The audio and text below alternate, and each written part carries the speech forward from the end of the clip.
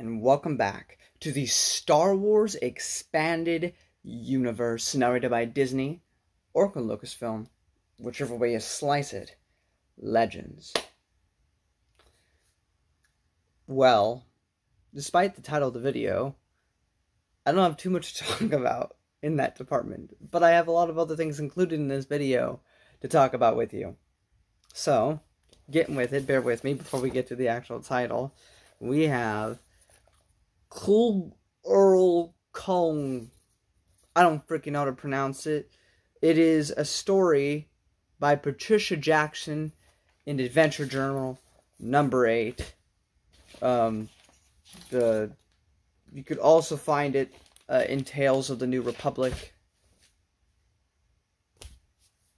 It exists. I have nothing to add to this story. I just I don't care about Patricia Jackson. Much like Matt, I try not to be swayed by other people's opinions, but I, I just don't feel it most of the time with Patricia Jackson. So, yeah. Moving forward, though, in Adventure Journal number five, we have A Bitter Winter, also by Patricia Jackson. And I still don't care. So I'm not even going to inform you what it's about, but this is chronologically where you would read it. We're having a whole lot of bland in this episode. We have Only Droids Serve Their Masters by Kathy Tyers in Adventure Journal number 10. I actually thought this one was fun. It's fine. Um, it's nothing incredible or horrible. It's a it's a fun little thing that you can read about. I, the only thing I wrote down as a note is at the end of the story, she references the uh, the American Revolution, not in the story. It's like a like a like an author's note about it, and she mentions like how a lot of the characters in here. She like made like one of the characters like specifically quote like Thomas Jefferson and other people like that, which I because it had to do with you know rebellion and and stuff, and so I thought that was interesting. Um, we also have in Star Wars Galaxy Number Twelve, Priority X. Um, it's a corporate sector adventure, so that's kind of interesting. It's really short though; it's like thirteen pages. Um, and I don't know if it should be placed earlier because they talk about the Death Star as if that just happened. But at the same time, you know, news takes a while to get around, so maybe they only just heard about it. I don't know if it should be placed earlier or not but I just put it here. So there's that. And then a super fun one, debatable, um, but this is most definitely 110% um, S canon status. Um, but in the in the real world, and you might get where I'm going with this, if you know, in the real world, Christmas is always at the end of the year before the new year begins. Because after this, it's officially 1 ABY, one year after the Battle of Yavin. So, you don't have to include this in your Legends timeline. Brace yourself if you do. But the next thing to put, if you're including it, would be the Star Wars Holiday Special which I think 90% of it didn't happen. I do think that Han tried to drop Chewie off at Kashyyyk to spend time with his family on Life Day, because Life Day is a real thing, and because of the expanded universe, we know that Chewie has a family, and that the Imperials might have gotten in the way of him getting there in time. Everything else, very debatable.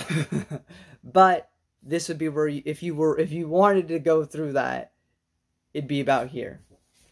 Now, officially one year after the Battle of Yavin, we have a couple short stories to also get through. We have, oh my gosh, Lando Calrissian, Idiot's Array by Rich Handley. What a freaking love letter, man! This this this is so. It's it's a short story. Um, it accounts for another short story. I forget the name of it, and uh, the the Star Wars Tales comic. Right? It's crazy that it's, connected to Star Wars Tales, but um, in the Star Wars Tales comic, Lando wins Cloud City. And so now we're getting to see him, you know, managing that, trying to live life as an actual businessman and not as a scoundrel. And it's just so much good. His banter with Lobot is so reminiscent of Vuffi Raa. They even mention that because he keeps calling him like the Baron Administrator, and Lando says, "Stop calling me Baron." And it's just like in the Lando Calrissian trilogy by by um, L. Neil Smith. And that's the thing. Like I didn't think Timothy Zahn does a pretty good job with with Lando, and so does Luceno. Um, you know, in like the in the future stuff.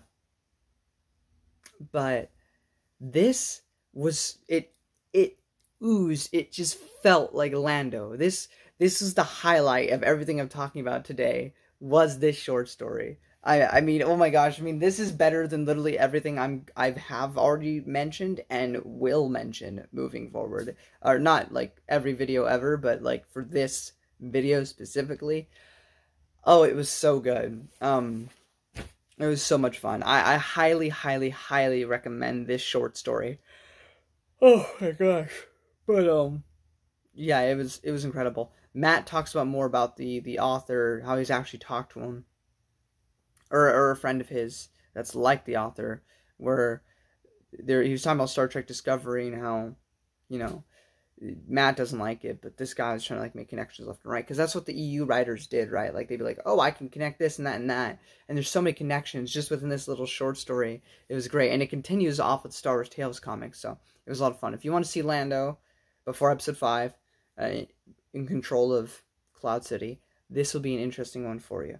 Lobot and uh, I don't know if you can count Lobot as a droid, but Lobot's a lot of fun, and um, if anyone was to replace the banter and the fun that um, Lando and Vuffi Raa had, Lobot's the one for it. But yeah, moving forward, we have Star Wars Tales. Now they're moving over to the comics. Uh, Star Wars Tales number 21. Uh, Walking the Path That's Given. Um, this was pretty decent. There's a guy named Ghent Vader makes him work for him, and the story's not concluded yet. I don't know if it's going to be. It's just kind of left with him still being a part of the Empire. But the art was okay. It was a decent little tale. So there's that. And before you read the novel that I'm going to be discussing, you would read in Star Wars Insider 74, Pearls in the Sand, also written by Veronica Whitney Robinson, which is just a little short story. You don't need anything, but it basically introduces you to the main character of the Ruins of Dantooine novel. And we are going to talk about the novel. Just one more thing to mention before then, which is in Marvel Star Wars, yes, the original Marvel Star Wars run, issue 38. And in issue 38, this is the issue right before they would have the comic book issues, just adapting episode 5 um, Leia and Luke get transported into the void. They end up finding this organic ship. Um, and so that's interesting. Um, it's not the Vong or anything, but it is very interesting that even back then we had like this organic sort of meld of a ship thing idea. Um, now I don't. It's not really a contradiction or anything. It's just simply that it's one adventure amidst the thousands that Luke and Leia have. So they probably just don't really remember much about. I mean, kind of hard to forget that, but it's just like it's a one-off adventure among many, many others. So um, it's fine. They go in there. They they find this you know guy that's like strapped to this chair. He's now melded with the ship or whatever, and he kills an Imperial Star Destroyer by using antimatter and whatever. It, it's kind of crazy, but it, it's a fun little comic, and and I, as always, I love the Marvel comics of Star Wars. Um, basically, issues thirty nine to forty four, I think, is just episode five of Star Wars. So I'm I'm not going to talk about those. I I have the movie. I don't need a comic adaptation of it. Um, so next time I talk about Marvel Comics, I'll be skipping a few issues. But that's just for warning.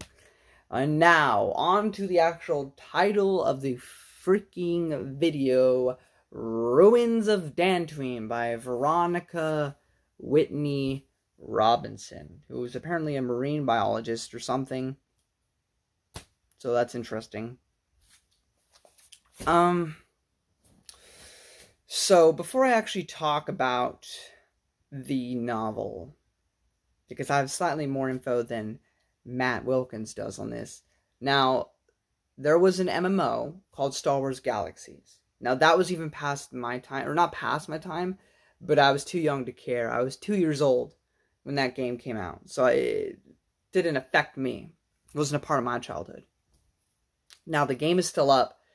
Um, the servers have been dead for a long time now because no nobody from Lucasfilm is taking care of it. But there are fans online that have done restoration things with mods and stuff, so you can still play it today technically, but it's being run and held together by uh, fans. Um, but there there's multiple you know like let's plays and stuff or walkthroughs or just exploration videos on YouTube you can find. And the thing about Star Wars Galaxies is it, with with um, you know, it is a heavily story focused game you know, with branching dialogue choices that aren't really that different, but you have dialogue choices and, you know, characters to develop and bond with and all that stuff. So like it's it's a role playing in that sense, where you have a clear story outlined and you you make decisions along the way. Um but um in Star Wars Galaxies, there's not really a story. I mean, there's a bunch of quests you can do you know, to level up in the game. But there's not really an overarching plot because Star Wars Galaxies is set within the Rebellion era, which means you can't do very much. The thing about SWTOR is you can go big, you can go hard because it's in an era outside the movies. So you can kind of do stuff and make it seem like grand and big against the entire galaxy, make you feel like all your decisions and weighing are super important because you are the center of the galaxy. At least it's how it feels in the games because that's how it is. Know, the player character in SWTOR is the most important character of all time, at least if you're playing as a Jedi or a Sith warrior. Um, but in Star Wars Galaxies, you know, you can be whatever you want to be. You want to be um, uh, a bounty hunter? You can do that. You can take bounties and do stuff like that. You want to be a smuggler? You can do that. You want to be a rebel operative? You can be that. You want to be an imperial person? You can do that. You want to simply just be a trader who sets up shop on Corellia and trade stuff with actual players? You can do that. Um, now, being a Jedi in the original game, it was much harder to do that. You had to find like several holocrons across worlds and stuff, and then you could become a Jedi. Um, but that's not. It, it, I think now with the fan things that are keeping it up, it's a lot easier to become that. You just click be a Jedi. Um, but before it was a much harder process. Um, but I wouldn't consider that the canon one anyway, because I prefer Luke being one of the few Jedi out there. I know I know there's a couple in hiding and stuff like Karuk and whatnot, but I just don't think there should be a new Jedi coming about right now. Um, so I would never, if I play the game, I'm going to play as a Jedi. Probably be a smuggler or a rebel operative or something. But basically, you just you just travel the planets that are famous in Star Wars. Like you got Dantooine, of course, the novel. You got um, Kashyyyk. Well, I think that was an expansion, and Mustafar. Those were both expansions in the prequels. You have um, Endor you have Yavin 4, you have um, uh, Dathomir, you have Corellia, um, the planet that uh, is the home planet of the Bossk's race. Um, you have the home planet of Nym. You have Naboo, I think. So you know you have a lot of those. You know, Tatooine, of course. You know, so you just you just go exploring the galaxy, and you just you go to people, you find them, they need you to go get like a shirt or something because they it was near and dear to their hearts because their daddy gave it to them or something. So you go to like a cave and kill some monsters and go grab it. You know, it's that sort of thing. But because we're in the rebellion era, you're not going to be doing anything super crazy because the only ones allowed to progress the universe in a major way right now are Han, Luke, and Leia. And I think that's another reason why I find the Rebellion era so weak because you can't do very much. Like, even with the Republic comics and stuff, with the Clone Wars era, because um, there was a whole bunch of colorful characters that could be expanded upon. Mace Windu, Dooku, you know, um, Quinlan Vos, Aayla Secura, you know, characters that are kind of just in the movies, but they don't do much. You can expand upon them. You're kind of free to, to just explore that. But with the Rebellion era, the only characters that really do anything important are Han, Luke, and Leia, and their character development can only happen within the films themselves. So that's why I tend to find the Rebellion era kind of the weakest of all the eras of, of Star Wars. That being said, the game is fine. Uh, it baffles me that they, said they decided to make a novel about it. Like, I wish they would have made novels, either, like, novelization canon versions of SWTOR. So at least, at the very least, people that don't like to play video games like Matt Wilkins could experience those stories. And I do think, in my personal opinion, I know a lot of people don't like SWTOR, um, that there there's stuff in there worth experiencing. And I think you're missing out as a Star Wars fan to not know about it. And a novel could have really helped for people that just don't have time for video games or to watch like long Let's Plays. Uh, but that being said, they decided to make a book about a game that ultimately doesn't really have a main plot. At least from what I can tell. From all the things I've seen of it, it doesn't seem to have a main plot. You get rescued by Han Solo and Chewbacca at the very beginning of the game, and then after that, you're free reign to do whatever, which can appeal to a lot of people when you're playing a video game. But when reading a book about that same game, it doesn't make much sense. But anyway, moving on to the ruins of Dantooine, finally. It is a novel that was created to basically help promote the game. In fact, it is the contender top five for one of the worst, if not the worst, but that is more debatable, uh, pieces of artwork that we've gotten for the Star Wars Expanded Universe. The cover of this book is literally just a screenshot from the video game. Like, no effort put into it whatsoever. Now, the story itself, it's not horrible. It's not the most boring thing I've ever read. It goes Fatal Alliance and Legions. Those books are boring. Siege and Gambit, oh my goodness. And then a more debatable one, but I like to piss off Noah. Into the Void, Dawn of the Jedi, which I found abysmally boring. Um, minus the world building, which was good. But this book doesn't have that because, you know, it doesn't. I mean, there's some stuff with animals if you like that, I guess. Basically, uh, the Empire wants this holocron. Not a Jedi holocron, not a Force holocron, just a normal holocron with a bunch of information contained within.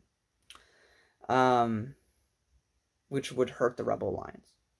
And so, um, this Rebel, Finn, sequels, uh, finds uh, this biologist or xenobiologist uh, who, who's a part of the Empire.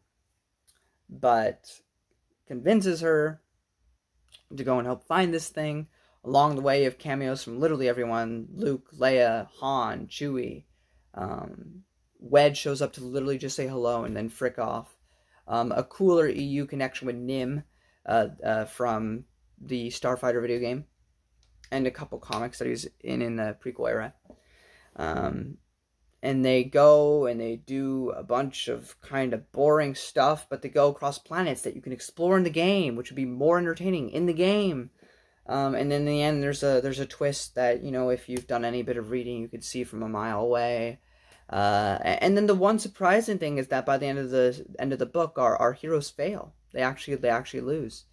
So I thought that was a, a genuinely something I wasn't expecting to happen. So that was that was something that got me. So there you go. Um, do I recommend it? No. I mean, I'll say that it's not the worst thing. It wasn't horrible. It's fine. It's eh. Like it's it exists. It's it's not offensively bad or anything. It's just it's just It's just there, and you'll forget about it after reading it. So I, I would suggest if you've read everything else in the expanded universe, right? You have nothing else now, but you want to be a completionist, read this book. You are missing nothing by not reading it. It doesn't enhance the universe at all. It doesn't add to the universe. It doesn't even add to the video game. You could play the video game without reading this book, and you'd be completely fine. In fact, I do would recommend playing the game if you're going to do anything. Don't read this book. But chronologically, it took place next, so I made sure to read it. But that's pretty much it, guys. Thank you all so much for watching. Uh, I'm going to get in slight spoilers for this book to just mention a few things here and there. And if you don't want that, now's the time to go. But if you don't care about spoilers, you don't care about this book, or you've already read it, then come join me. I don't have too much to talk about. Um, um, I don't even know how to spell this girl's name or how to how to pronounce how to pronounce it. Douche, do do. I don't want to say like douche, but that's kind of what it sounds. I don't want to say her name, but she's she. It was interesting. It was an interesting part because she's talking about how she does like all this scientific stuff for the Empire, and she knows that some of the stuff that she's given to the Empire for research is probably being used for bad things, but she just kind of ignores it. She's happy studying the stuff that she studies and moving on. Um, one of the things that did generally get me and you know, made me feel slightly something was the Ithorian companion that was in the short story and in the first couple pages of this book gets killed off, which surprised me because basically this dude, um, I mean, he's a pretty decent dude. He, he was an okay character. I liked him enough, and then they just killed him off which I thought was pretty crazy. So I I'll give props to them for that. Nym being in here was really cool. I already mentioned Nym, but Nym, I, I really liked Nym in, in the in those comics that we had in the prequels, and I enjoyed them in the video games. So it was in the in Starfighter and uh, Jedi Starfighter. So it was really cool to see him here.